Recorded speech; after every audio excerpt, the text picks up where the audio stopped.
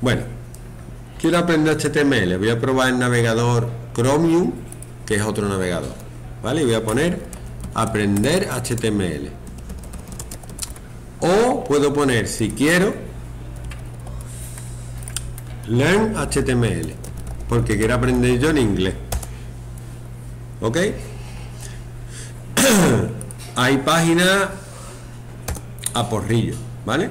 Por ejemplo, Free Code Camp está muy bien, están en castellano. Si se carga, sale una muchacha que te va explicando los primeros pasos y luego tiene un montón de vídeos que te va explicando. Por si no os gusto yo, por lo que sea, pues Luego está Code Academy, que también está bien, y yo, pero a mí me gusta esta página, W3 Schools, que está ahí puesta para cuando tenga que meter ahora. ¿Vale? Entonces vienen tutoriales, viene aquí a la izquierda un montón de todo lo que vaya a estudiar o lo que se puede estudiar y aprender, y es gratis. Y a mí lo que me gusta es que esto tiene un try yourself, que significa pruébalo tú mismo. Pruébalo tú mismo. Te mete aquí y te sale la página o sea, el HTML de la página y el texto de la página. Esto es como se va a ver esto. Y aquí os explico las zonas que tiene una página. Tiene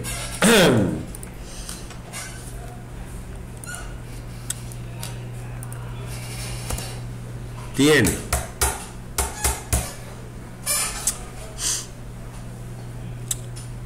tags. Un tag es cada una de estas palabras que está entre un signo de menor y un signo de mayor.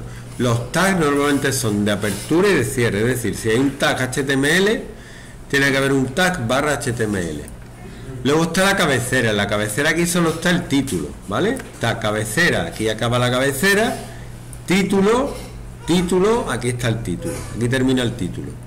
El título es lo que se ve aquí en la página, ¿vale? Si yo cambio esto, aquí es que no se ve el título en esta página, luego se verá. Y yo voy a poner aquí que es la IA, que lleva tilde que es la inteligencia artificial. Body, body es el cuerpo de la página, lo que se ve dentro de la página. Un H1 es el encabezamiento, aquí empieza el encabezamiento y aquí termina. Y es un párrafo normal, aquí empieza, aquí termina. Definición de IA.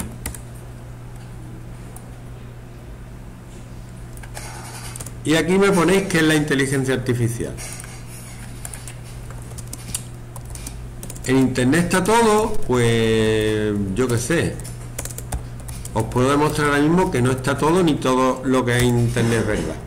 Pero voy a ver si esta definición me gusta a mí, que sí, yo soy ingeniero informático y yo sí sé lo que es la inteligencia artificial. Y yo puedo discernir si es verdad lo que dice aquí o no. ¿Vale? Porque lo diga en internet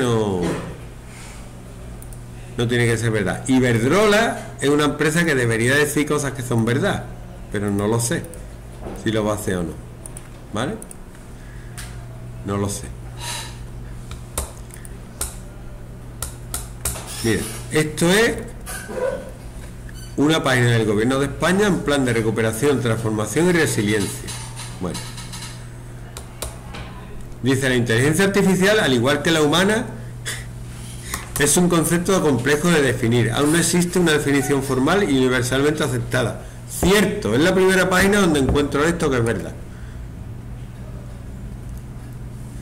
Muy larga la definición. No, no me gusta. Todo lo que es más simple es menos verdad, pero eso es verdad. Aquí lo que hacen es decir, mira, no hay una definición exacta, te voy a dar mi definición y te voy a enseñar algunas características. Y eso también está bien. IBM que la primera empresa de ordenadores debería tener una buena... Y Wikipedia, bueno, Wikipedia... Vamos a ver, Wikipedia qué dice.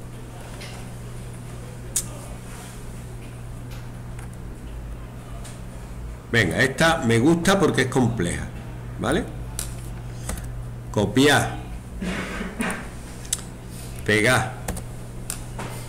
Y ahora si le doy aquí a RAM, ¿vale? Mm, se ve como en la página. El título no se ve, pero ahora se verá. Definición de IA y luego la inteligencia artificial. En el contexto de las ciencias de la computación, yo soy ingeniero informático, me llaman informático, yo prefiero que me digan que soy el profesor de ciencias de la computación, porque son ciencias. Es una disciplina y un conjunto de capacidades cognitivas del conocimiento e intelectuales expresadas por sistemas informáticos o combinaciones de algoritmos cuyo propósito es la creación de máquinas que imiten la inteligencia humana para realizar tareas y que puedan mejorar conforme recopilen información. Importante que mejoren conforme recopilen información. Cuanto más aprenden, más listas son. Pues esto es lo que quiero que hagáis ahora mismo.